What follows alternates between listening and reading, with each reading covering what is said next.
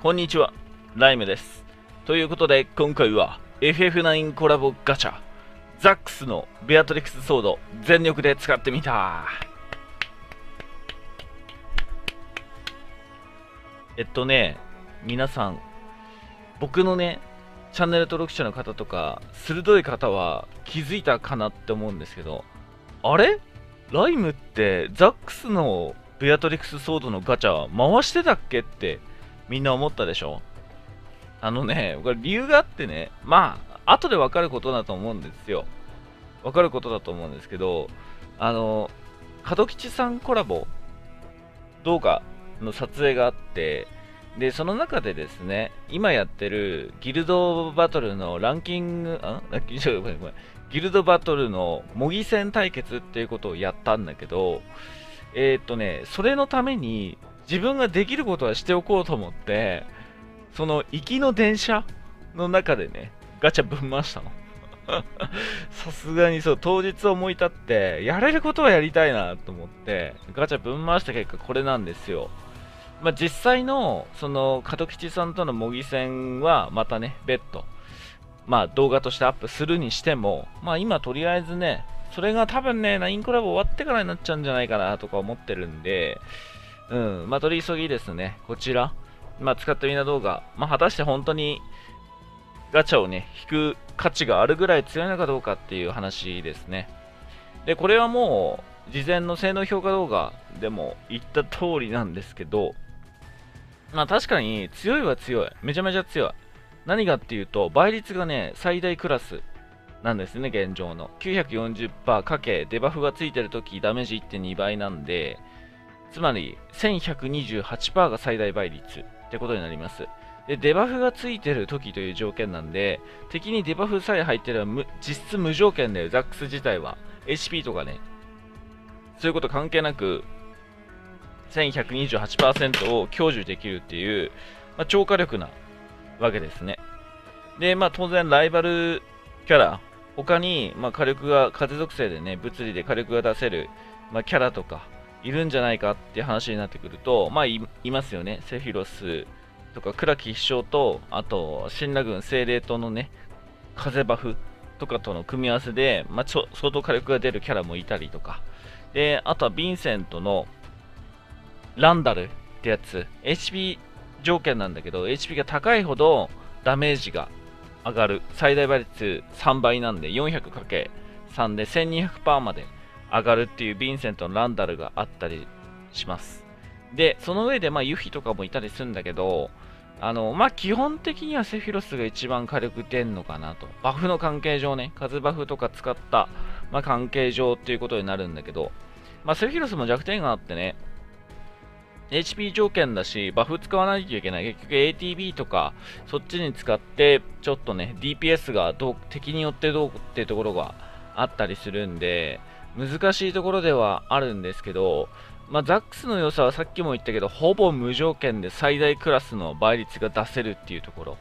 だね、これはもうヴィンセントとかセフィロスよりも簡単に出せるっていうところがポイント。ただその代わり、今回のね、FF9 コラボガチャには、このベアトリックスウェアがなかったんで、今のザックスの既存のウェアで対応しなきゃいけないっていうところが、まあ、このベアトリックスソードのポイントでした。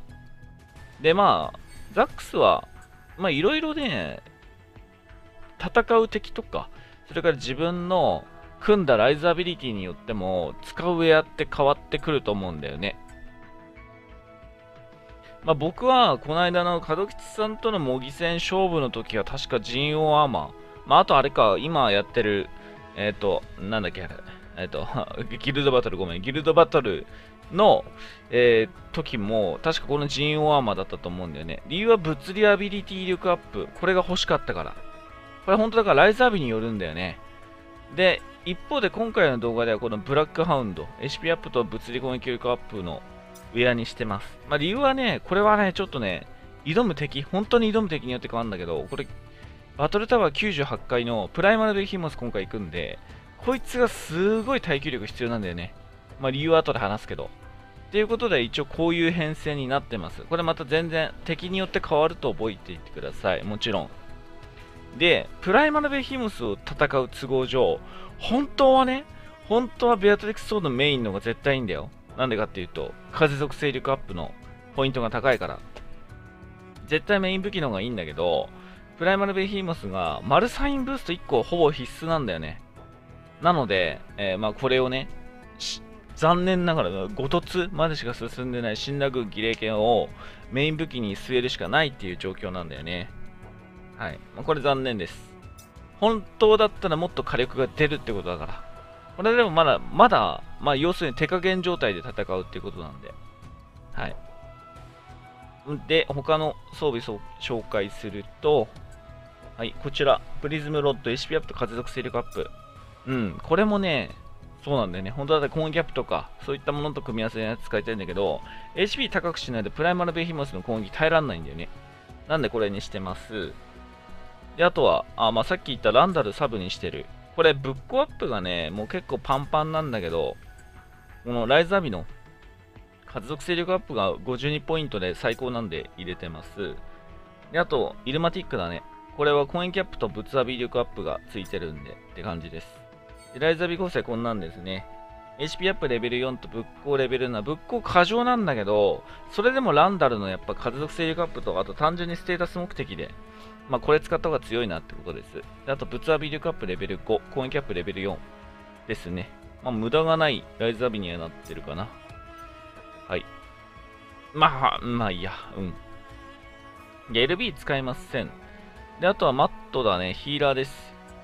センチピードメインで、あとブランブルスパインでこれブックアップだね。ブックアップ、これ大アップまで持っていけるんで、で、ブックアップしてない状態だと、ザックスが儀礼剣使っちゃったりするんだよね。バフ目的で。邪魔なので、ブックアップは絶対した方がいいです。無駄な動きをさせないためにも。はい。で、HP が13,531、仏棒152、注力3380、サブがストリームグレイブ、それから十字手裏剣。で、あとマーチングラッパですね。はい。で、ライザービー、HP アップレベル5、注力レベル10、バフレブ時間延長。かな。はい。で、あとエアリスですね。エアリスはこのフローラルバンドで防御ダウンと、あと風耐性ダウン。必須だからね。ベヒモスは。であとはミスリルロットですね。これで仏棒アップ。これ、ま、エアリスとマットでダブル仏棒アップマンしてます。これでプライマルベヒーモスのね、仏棒ダウンにも対応させていくということ。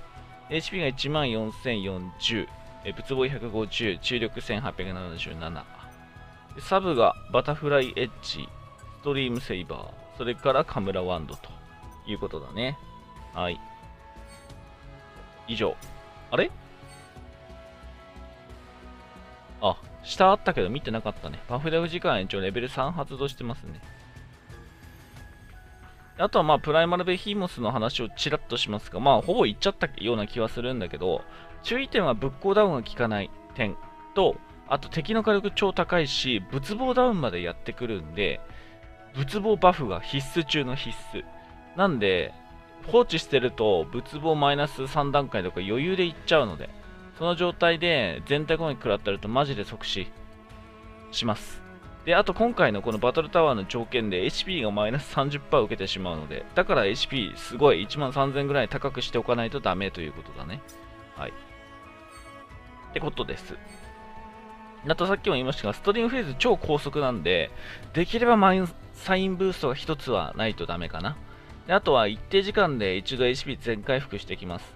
これ攻撃バフと防御デバフでまた仕切り直ししないといけなくなっちゃうので、またね、えー、この HP 回復されてからまたデバフとかバフをかけ直してあげてください。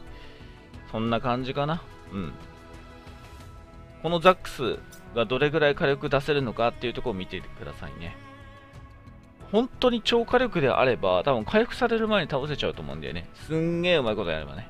まあ、今回ちょっといろいろ耐久求めるために火力を落としちゃい、落としちゃったりとかしてるんで無理ですが、まあ、いずれにしても超火力出るからね、ぜひ見てほしいと思います。はい。ということで、実際にやっていきましょう。マイル。